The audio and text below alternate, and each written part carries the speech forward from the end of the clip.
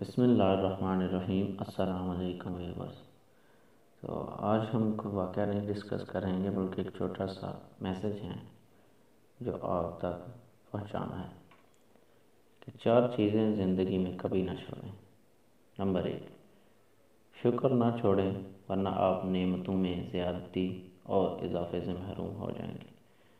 جیسا کہ قرآن پاک میں ذکر ہے، اگر تم شکر کرو گے تو میں تم کو مزید دوں گا۔ دوسرے نمبر پر ہے کہ اللہ کا ذکر نہ چھوڑیں، ورنہ آپ اس سے محروم ہو جائیں گے کہ اللہ آپ کو یاد رکھے۔ جیسا کہ قرآن پاک میں ذکر ہے، تم میرا ذکر کرو، میں تمہیں یاد رکھوں گا۔ تیسرے نمبر پر ہے، دعا کو نہ چھوڑیں، ورنہ قبولیت سے محروم ہو جائیں گے۔ جیسا کہ قرآن پاک میں ذکر ہے، تم مجھے بخارو میں تمہاری دعا قبول کروں گا۔ چوتھے نمبر پر ہے استغفار نہ چھوڑیں، ورنہ نجات سے محروم ہو جائیں گے۔ کیونکہ قرآن پاک میں ذکر ہے، اللہ ان کو عذاب دینے والا نہیں ہے جبکہ وہ استغفار کرتے ہوں۔